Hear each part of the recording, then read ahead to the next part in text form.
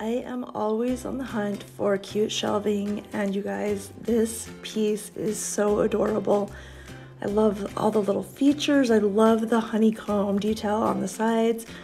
So, so cute. It's got four shelves.